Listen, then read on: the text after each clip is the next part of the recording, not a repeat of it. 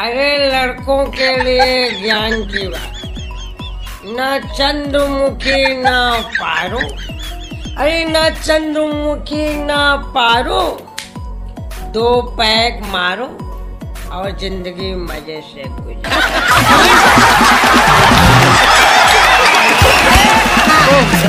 भैया, कितना खुशकिस्मत होगा वो घर, जिस घर का मैं दामाद बनूँगा।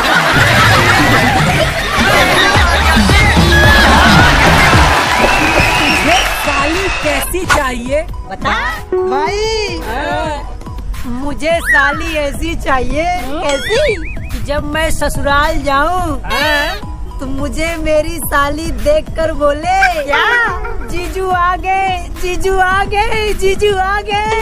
अच्छा। और मुझसे ये कहते हुए एक दो घंटे लिपटी रहे।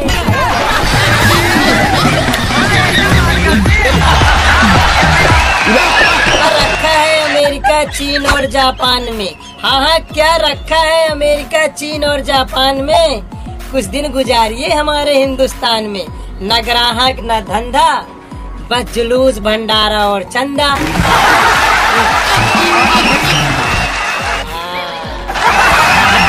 ये लड़कियाँ चाहे कितना भी विराट कोहली, सलमान खान पे मरती रहे, अंत में इनकी शादी किसी न किसी जेठालाल से होती है।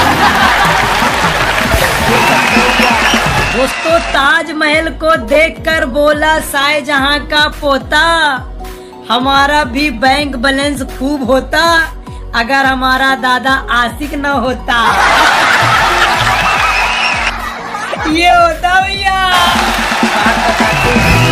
औरतों को खुश रखना बड़ा ही मुश्किल है। हाँ हाँ औरतों को खुश रखना बड़ा ही मुश्किल है। और आदमियों का क्या है? वो तो औरत देखते ही खुश हो जाते हैं। आजकल की लड़कियाँ कहती हैं कि मैं ढूंढूँगी ऐसा घराना, मैं ढूंढूँगी ऐसा घराना, जहाँ सास कहे बहू तू सेल्फी ले ले, मैं बनाऊँगी खाना। आजकल की लड़कियाँ ऐसे नहीं पढ़ती बच्चों। उनको पटाने के लिए नेताओं जैसे झूठे वादे करने पड़ते हैं।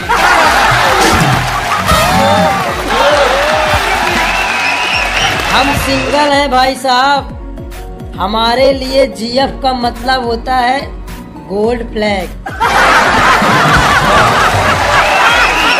नौकरी नौकरी पाया हुआ एक कुआरा लड़का। रिश्तेदारों के बीच ऐसे चमकता है जैसे आकाश में ओनली एक ध्रुव तारा। और हम बेरोजगार लोगों को ऐसा देखते हैं जैसे कोई धारा काटते हैं।